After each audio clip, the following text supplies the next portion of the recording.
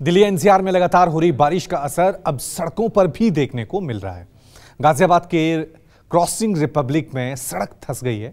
तस्वीरें हम आपको दिखा रहे हैं। यहाँ एक बिल्डर का काम चल रहा है। देखिए किस कदर सड़क धसी हुई नज़र आ रही है। काफ़ी तेज बारिश पिछले दो दिनों से दिल्ली एनसीआर के इलाके में हो रही है।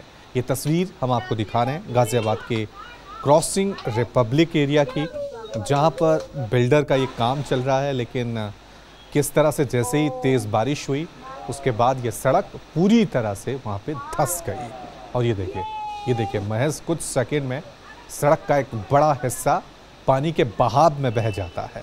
गाज़ियाबाद क्रॉसिंग रिपब्लिक की ये तस्वीरें हम आपको दिखा रहे हैं, जहाँ तेज़ बारिश के बाद किस तरह से आम लोगों को दिक्कतों का सामना करना पड़ रहा है, किस तरह से रोड का एक बड़ा हिस्सा पानी के तेज़ बहाव में बहता हुआ नज़र आ रहा है। पिछले दो दिनों से काफ़ी तेज़ बारिश हो रही है उत्तर भारत के इलाकों में, पहाड़ी इलाकों में भी काफ़ी तेज़ बारिश हो रही है।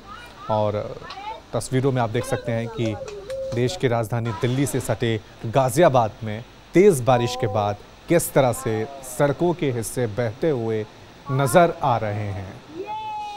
हालाँकि अभी तक जो खबर आई है, उसके मुताबिक जान माल के नुकसान की कोई खबर नहीं है, लेकिन सड़क निर्माण को लेकर यहाँ सवाल उठ सकते हैं कि किस तरह के सड़कों का निर्माण वहाँ पे हो रहा था कि सड़क का एक बड़ा हिस्सा पानी के बहाव में बहता हुआ नज़र आ रहा है।